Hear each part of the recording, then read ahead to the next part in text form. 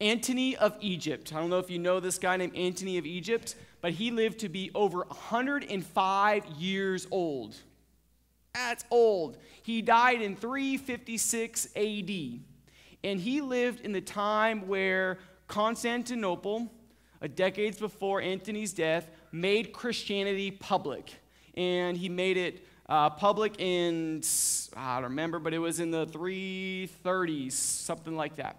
And there was a movement within Christianity that didn't want, did not want it to be public.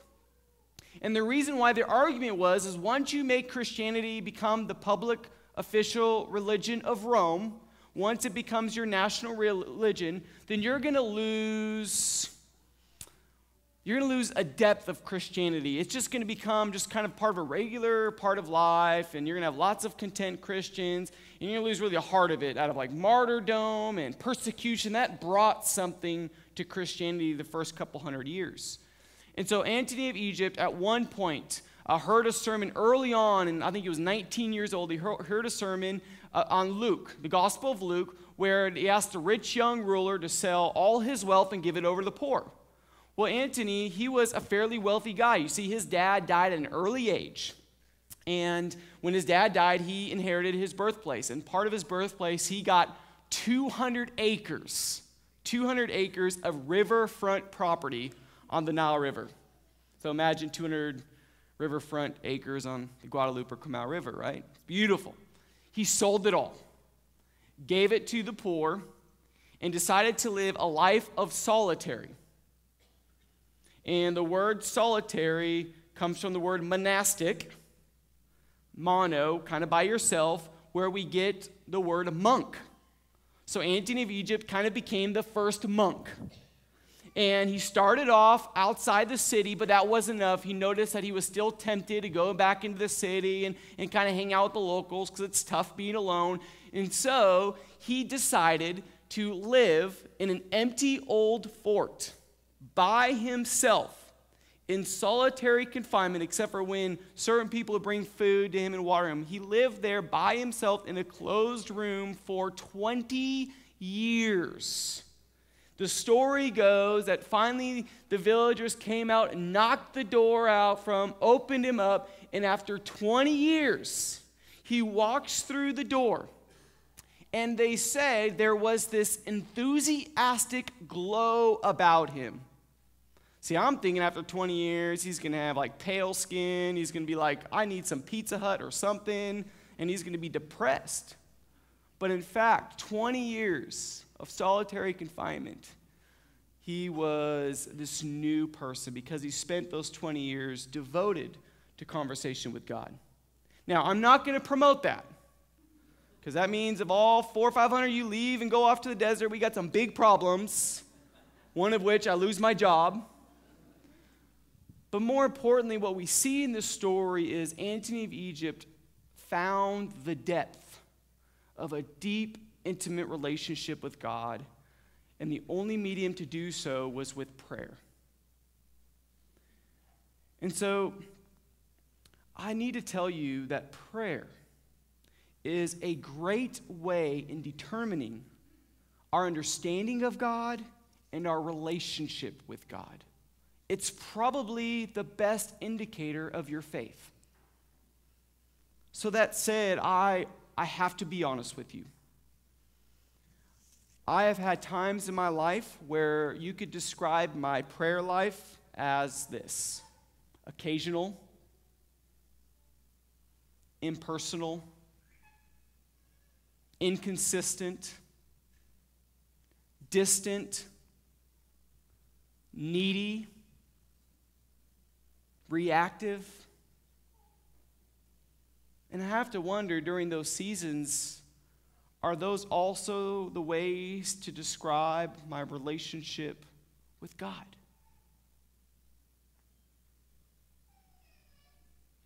We are finished with Matthew chapter 5, and Jesus talks about some specific ways of, of living righteously. And in Matthew chapter 6, Jesus knows uh, that practices of worship, how we worship, have this connection between how we live righteously. and so, it's brilliant. Excuse me. It's brilliant how he how he understands how we live righteously. These are ways to live. These are ways to promote good news in others people's life, to bless and encourage people. The next step is how we practice worship. And the ways you practice worship, especially in the areas in the ancient world where prayer, giving, and fasting, those were the key areas. And so Jesus is essentially saying here that some of you think you are worshiping correctly.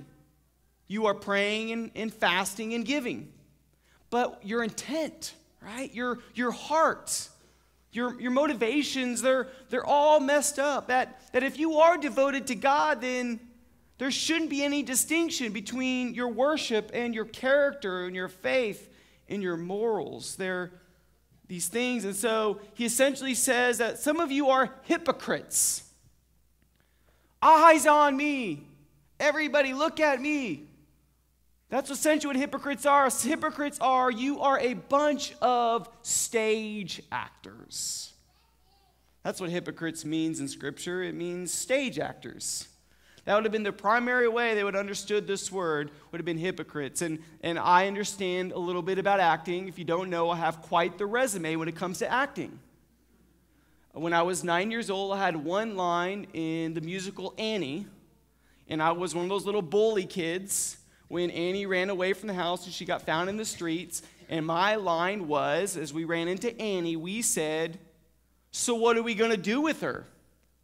And then my friend next to me said, What we always do beat her up, right? So, of course, that's what bullies do in alleys in the musical Annie is they take money from kids who have no money.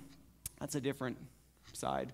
Then my next main acting moment, which is really really going to get me into Broadway was more recently was the Joseph Coat of Technicolor Many Colors. Is that how I said it, Jana? See, I don't even know the name of the show. Oh man, and I will be completely honest with you. This is not flattering at all. This is not self promotion. That was difficult for me. That was humili- humiliating in some aspects. And I'll tell you why. Because stage acting, which the word comes persona, is that you have to remove your own mask of who you are and put on the mask of somebody else. And my person was Naphtali, one of the brothers. And I have no idea how to be Naphtali. And so this whole process was me trying to figure this out about who is this Naphtali guy. And I I I couldn't do it at times. I struggled. And I didn't get it. But that's what Jesus is saying here. He's saying, look, you're just trying to get on stage, you're trying to show off, you're, you're trying to say, look at me, self praise, look at what I'm doing, I want to get noticed. This isn't the Antony of Egypt who goes off and shuts himself in the fort. This is somebody else who, who plants himself in the middle of the stage and says, Look, I can pray like the best of them, and I can fast like the best of them, and I can give like the best of them. I want to get noticed. And Jesus says to them, You will get your reward. You will be noticed. But when you pray genuinely, you will also get your reward. I, I want to make that clear because I, I think what Jesus is saying here is no, listen to me, you are going to get a reward. And, and, and I think that's important. I think we need to know that being a Christian and practicing with, in terms of worship and, and understanding what that is, that, that we will receive a reward. It's not like we're just doing this for nothing. And so there is a great reward for us in our spiritual practices like prayer. And so Jesus wants to, us to understand what that reward is. And so I want to close us off thinking about what it means, what that reward is when we have real prayer. You see, when Jesus asks us to go into our rooms and shut the doors for our real prayers, he's using a figure of speech. He's not saying don't pray publicly or don't have long prayer. What he's saying is this He says, you know, Jesus saying that when you went to trek a couple of weeks ago, when you pray, when you go into the deepest part of the forest, where the only thing you might hear is maybe some bugs and maybe a squirrel or two, where no one can see you. And in that moment, where you are not heard, where you are no longer seen, that that is the place where you can speak to God in ways you've never done before. Where you can share your soul and your secrets and your heart with God. And so you can do that in a synagogue.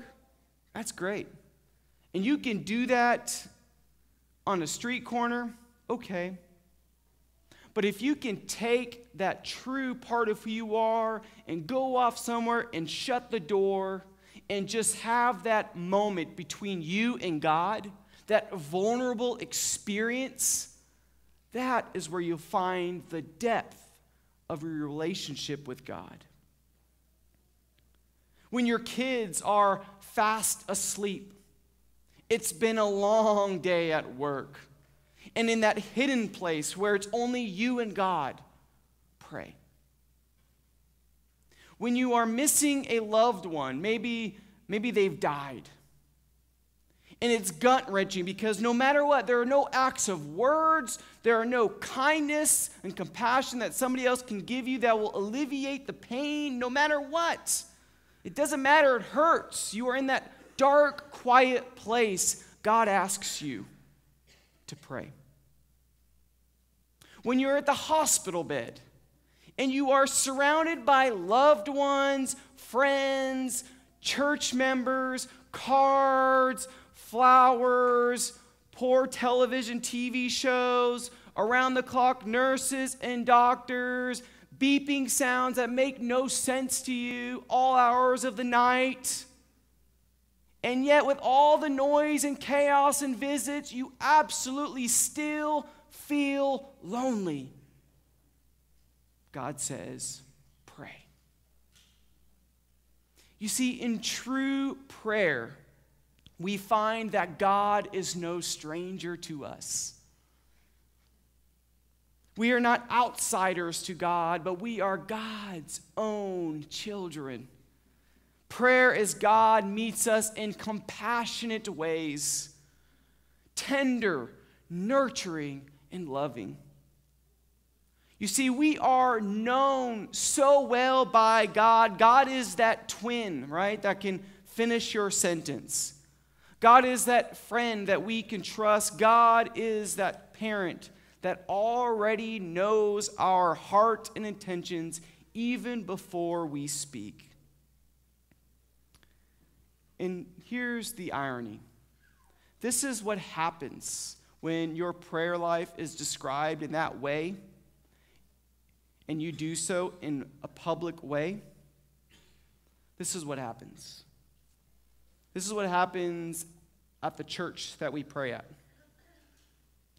This is what happens in the home where we pray in front of our kids, or at the hospital room, or at the table in the restaurant. I, I, I love one of Jake does this really well. I've known others who've done this, but he asks simply servers, Hey, can I pray for you? What can I pray for you for? And sometimes those servers will even pray with Jake. I know others do that, it's great. And this is what happens at the band or football field when you figure out this prayer life. And this is what happens at the deep forest on trek, or that walk in the morning, or the bike ride, or even in the closet. This is what happens all of these places and much more, and the list goes on, become houses of prayer. Closets become houses of prayer? That's strange. Hospital beds? Classrooms? Office space? Around your dinner table? Here in the church? all of these places become houses of prayer. These otherwise maybe mundane and even uncomfortable spaces become holy ground because in prayer we have access to the presence of God. And that's what happens when God is our audience, when God has our attention. That is the holy experience. I mean, think about it. The first couple books of the Bible, Genesis and most of Exodus, we are taught that God is not restricted in a particular location, but is made known wholly wherever God's people go, wherever God's people are present. Build an altar here, build an altar here. In fact, one of the most holy places that God is found is in a very dying, brittle, burning bush. And yet, when we make God known, God can make anything holy.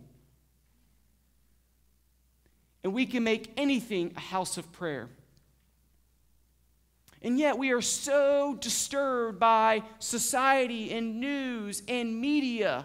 And we're disturbed by our future and what's happening. And I wonder if, our, if the reason why we're in fear and anxiety and, and why we are disturbed is because maybe we haven't allowed ourselves to make these various parts of our life, to make these the center place of our prayer. Because we can't just stand out on the street corners and scream, we believe and we think about God and God this, God is awesome. And then yet inside we are scared and fearful of our future. We struggle with, with the news that we've received or the pain that we endure. And God says, take the most mundane and hidden places of your life, like a closet, and make those places the centerpiece of your holy experience with God. Make cancer the centerpiece and the holy experience with God. Make that loss of job that you received the center place and the holy experience of God.